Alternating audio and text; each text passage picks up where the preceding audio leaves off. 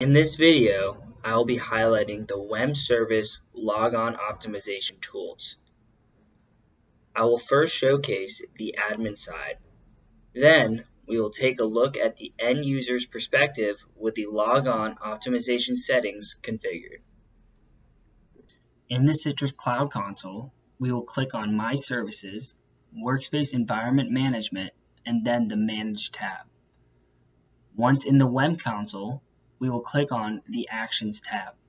The purpose of Actions are to remove logon scripts. Logon scripts are executed before the user can access their desktop, which leads to increased logon times. Actions can be items such as application shortcuts, printers, and network drives. These are all configured per user and handled by the WEM agent. For the purpose of this video, we will focus on creating an application shortcut. We will first click Applications and then Add.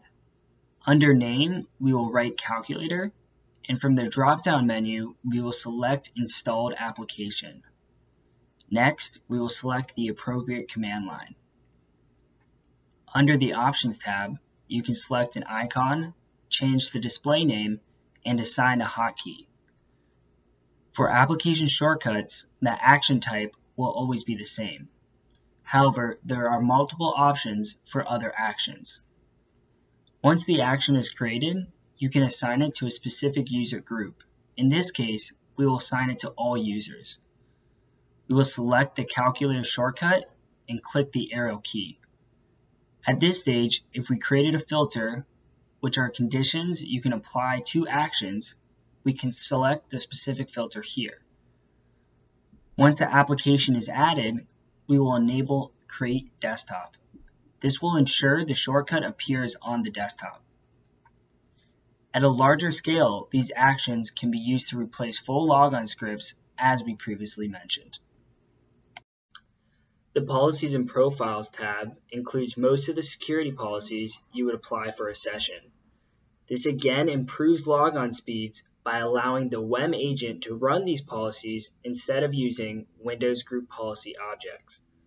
For this video, I selected Remove Run from the Start menu. I also selected Hide the Recycle icon.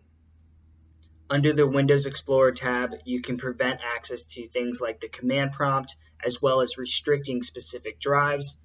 And then finally, under the Control Panel tab, you can hide the control panel altogether or specific control panel applets.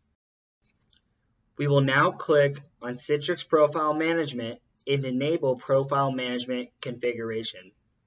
We will then go to the Streamed User Profiles tab and enable profile streaming for all domain users.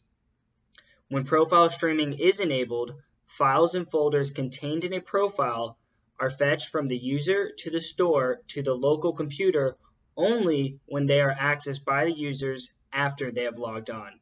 This will again result in improved logon speed. Now that we've looked at the admin console, let's view the improved logon speeds in action. On the left, we have our user logging into a machine with the WEM agent installed. And on the right, we have the same user logging into a machine without a WEM agent installed. Notice the logon speed difference between the two machines. The machine without the agent takes about three times as long for the user to log in. These are both small profiles, but take the difference in speed on a bigger scale where a machine has a logon script to run that applies settings, policies, maps printer drives, and maps network drives. In the bigger profile case, Having the WEM agent installed can be the difference for drastically improving your user's work productivity. Now that we've discussed the logon speeds, notice the calculator application shortcut that we configured earlier, and we can also view the run functionality being restricted.